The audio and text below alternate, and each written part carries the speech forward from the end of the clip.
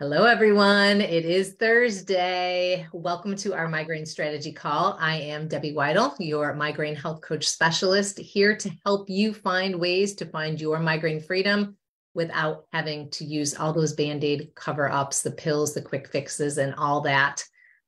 I am so excited for today's call. I've been waiting all week. Actually, I've been waiting two weeks for this call. As soon as Cheryl told me about it, but I am with Cheryl today. So, Cheryl, thanks for joining me today. Thank you.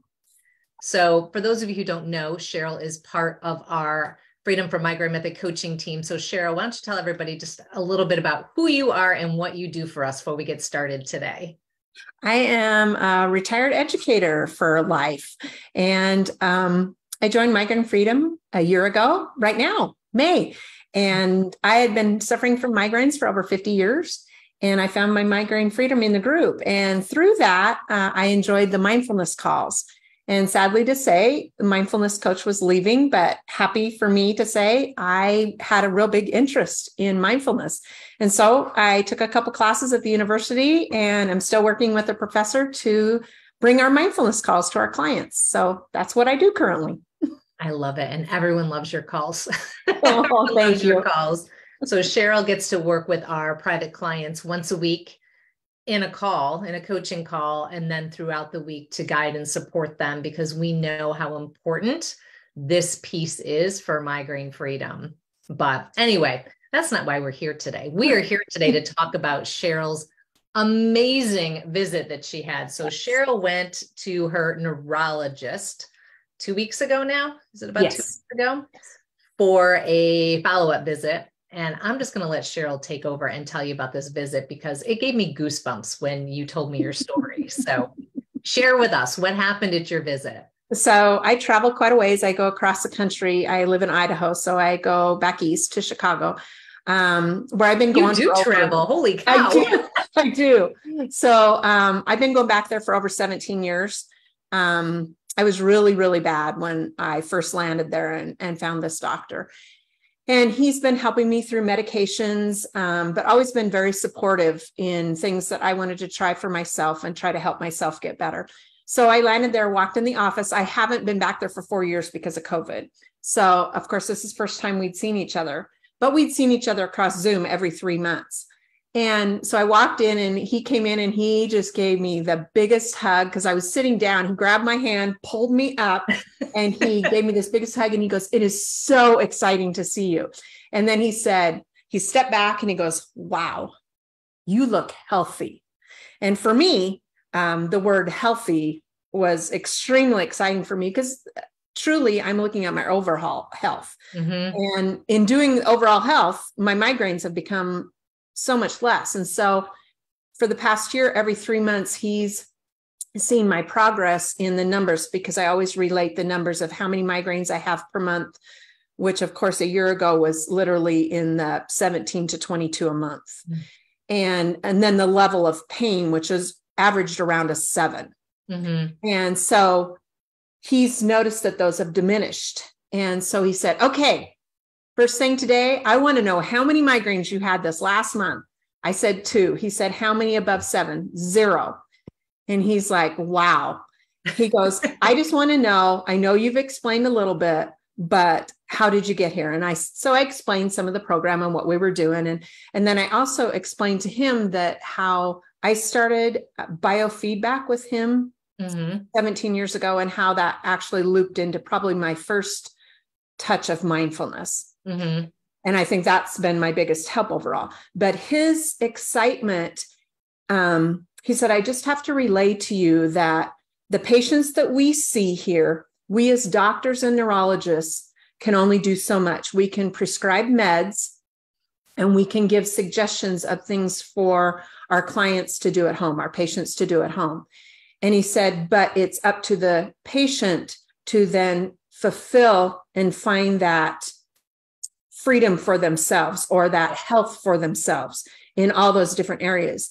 And he stated with me, these numbers were incredible to me. He said only 14% of their patients, and they have patients from all over the world that come to that headache clinic.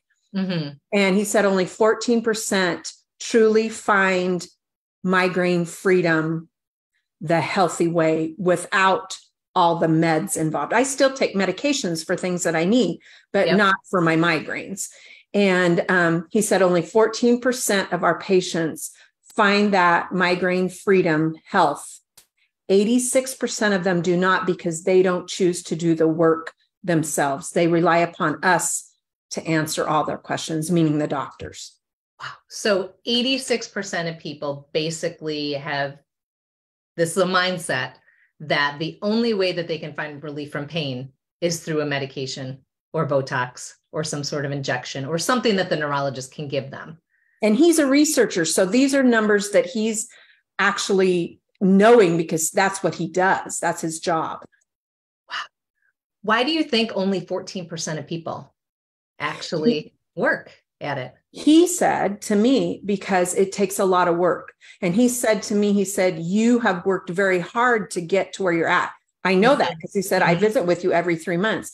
He yep. said i want you to realize that 80% 86% of the people don't choose to put in that time and energy to find that health of migraine freedom. And I wonder, and I'm sure he doesn't have this data because we'd have to ask these people, but I wonder how many of the 86% just really think there is no hope, which well, is why they go that route. Right. Absolutely. Absolutely. And that's what he was stating. He said it's because it's hard when you're in migraines to think, first of all, clearly, mm-hmm. but he mm-hmm. said also not just rely upon that doctor t- for all the answers. You know, he was stating, and what I was hearing was he said, we can only do so much. Mm-hmm as neurologists and doctors.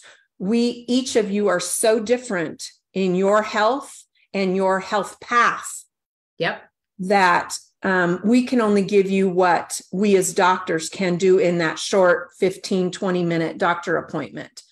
There's so much work that I'm sorry to say, he said, that you have to do on your own, but we're here to support you through all of that.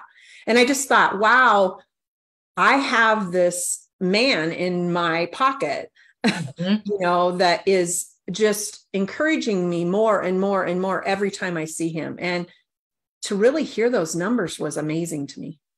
That is amazing. And the more amazing thing is that you have this neurologist from a pain clinic, you know, a very renowned pain clinic. Yes. That actually understands the whole big picture. Mm-hmm. So he knows that medication, sure, in the short term, can totally help us get through our life. Because let's face it, there's so many of us here in this group that if they didn't have medication, they wouldn't be getting out of bed and they wouldn't I, be functioning. I wouldn't have been able to function without it. One of the things he said that I thought was very interesting is he stated to me, he said, We know that every prescription that we prescribe to you to shrink your inflammation, to uh, deal with the pain, um, he said every single one of those meds cause inflammation in your body, which I know you say all the time. But when he states that, he's saying to me, we know when we prescribe that med, it's going to cause inflammation, mm-hmm. even though we know it's it's trying to help your problem. But there again, he said we can only do so much. Yeah, you yeah. have to work toward finding those things that works for yourself for that health man, if we only had more neurologists like that. I mean, this is the way the system is supposed to work, right? You go to a neurologist, they give you the medication to help you get through the day, but mm-hmm. then mm-hmm. you need to find someone to support you, whether that's a health coach or another doctor or someone support you to be able to get to the root cause of the problem so you can actually get off of that medication. I mean, it's a health team, right? It's a full team. It is because I, I look at all of it. I think your pharmacist has to work with you as mm-hmm. well as I look at, you know, sleep, Dr. Hyman and his sleep yep. class that I took for free, you know, and and looking at all the food that goes into my body, uh, how I deal with stress. Oh my gosh. That's yeah. why I'm where I'm at in doing what I'm doing in the Freedom for Migraine program is because mindfulness, dealing with my stress, I had no concept of the stress that I was carrying, let alone what those meds were doing to me to bring on and that inflammation. So when I was feeling that pain, I thought it was always something I was doing when yeah. truly I needed to deal with that stress so that I could release that pain. Absolutely. Yeah. We know that stress causes just as much inflammation as inflammatory food. I know I sound like a broken record sometimes, but there's always new women coming into this group. So we mm-hmm. want to make sure that women realize that and doctors know that. They yep. know food, don't get me wrong, food is 100% important. You know, we can't go eating pizza, drinking beer, and having chocolate chip cookies every day for the yeah. rest of our lives. Though that would kind of be fun, except for the beer part. I'd probably switch yeah. wine, but we can't do that. But that being said, we can't just look at food. And I think that's what happens too often is that we mm-hmm. think medicine and food are the answer, right? Because typically your neurologist will give you the eat healthy food, don't have MSG, don't drink red wine, you know, the typical stuff. It sounds like mm-hmm. your neurologist definitely went a step above and beyond. But mm-hmm. what an amazing visit. I mean, how did you walk away from that visit feeling? Uh, well, I had a huge grin on my face because when I went out to the front office, the you know the receptionist sitting there to uh, schedule my next meeting and of course the neurologist says not three months we're going out to six months which nice. is huge nice. but anyway she said well i love that smile. Where did that come from? She goes you must have had an awesome visit. So to me that just said it all. I did. He was so excited. He said i would love to walk out of every doctor's office room visit with a patient the way that i feel walking out away from you today. He said it's just such a joy. And again i've been going there for over 17 years. Well it's just sadly that part of our medical system is failing us not mm-hmm. your particular doctor but the yeah. fact that your poor doctor only has 15 minutes you know so much Correct. dictated by insurance right mm-hmm. there's a lack of doctors in america you know i just saw the numbers the other day i wish i'd written them down but the numbers were staggering how short we are on doctors and nurses and healthcare providers so you really do need this team. You need mm-hmm. that neurologist, you need your general practitioner, you need a health coach or someone else that's going to help you do all those pieces that the poor doctor can't because they just don't have the time. They don't. They don't. You know, could you imagine like what we do for our clients and Cheryl can attest to this? We give them access to us on a daily basis. Every single day, including weekends and, you know, the holidays. If you need us, we're there can you imagine what that would cost if your particular doctor, Cheryl, you said, I want to have access to every day for when I have a question? I mean, he wouldn't be able to do it. He can't do it. No, he can't. Uh, he's already only going 15 minutes at a time because he's trying to reach as many people that mm-hmm. are flying in from all over the world. Yeah. To try to help. And he's not even from the US, he's from Russia and has been practicing here for over 20 years. So okay. he knows the need yeah in our medical field for helping people with migraines. You know, this is a horrible medical condition. Yeah, one in four, one in four women. I don't even know the stats worldwide for everyone, but knowing that it's just one in four women, that's huge.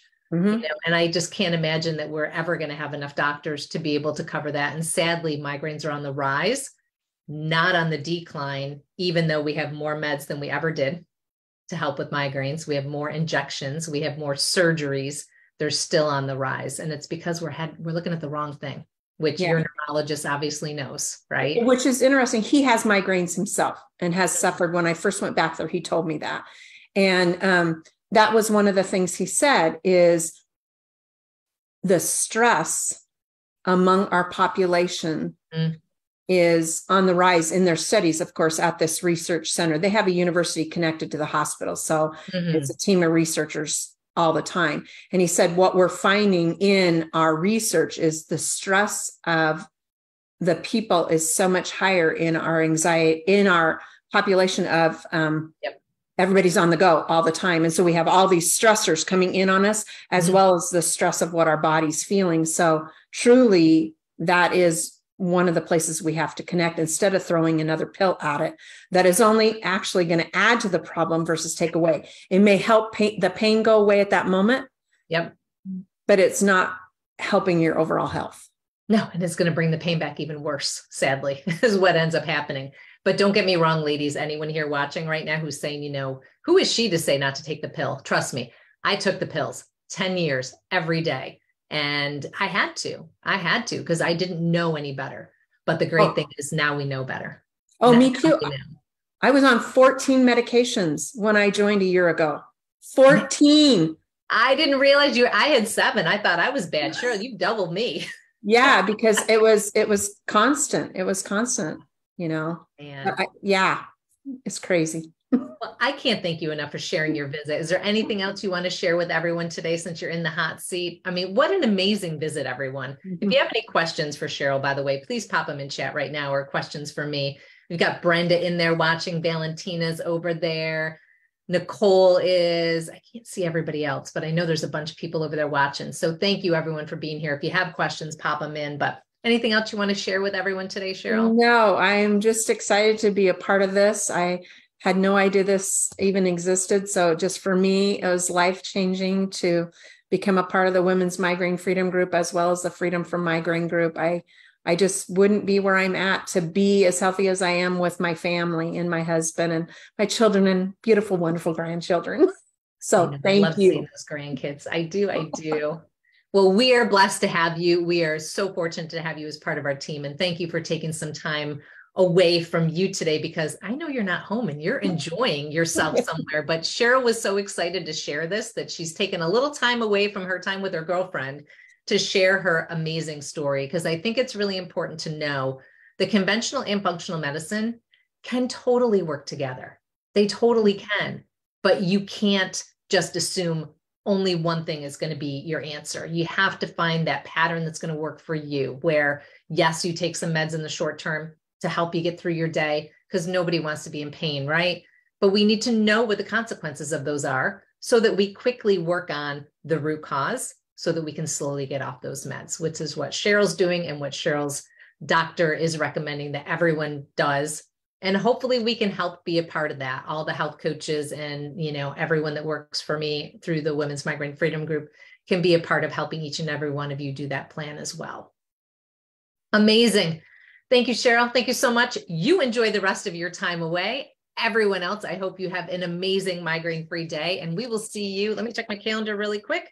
We're going to see you next week on a special day and time. So we have Marcia, who is going to join us next week to share her migraine freedom story. She is going to come to us on Tuesday, which is May 23rd at 6 p.m. Eastern. So make sure you change your calendars. We're not meeting on Thursday. We're going to meet on Tuesday. And I am so excited for everyone to hear her story. So if you need anything, everyone, let us know. Here's to your migraine free day, and we'll see you in the group. Take care, everybody.